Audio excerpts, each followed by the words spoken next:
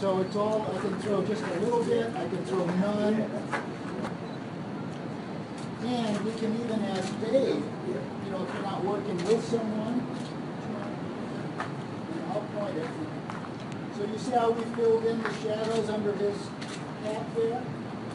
And he's our assistant.